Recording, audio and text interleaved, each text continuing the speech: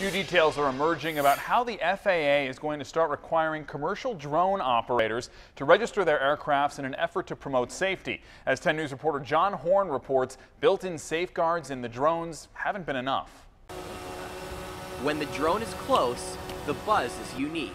But when Jim Bonnardell commands his DJI Phantom to fly away, it disappears along the horizon. A lot of these craft are capable of autonomous flight, going to a location, turning around, coming back, uh, without pilot intervention. Bonnardell is a pro. He heads the Silent Electric Flyers Club, which has space to fly near SeaWorld.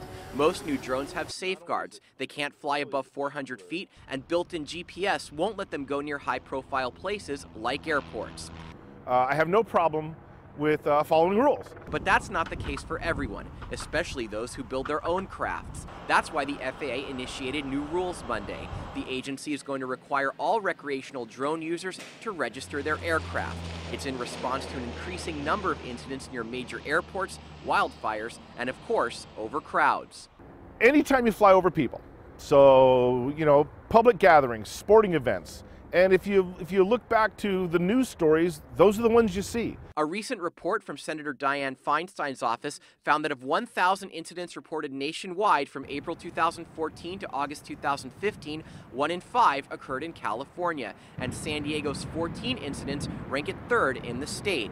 And drones are flying off the shelves as prices decline. Aviation Week projects 1 million drones sold this holiday season.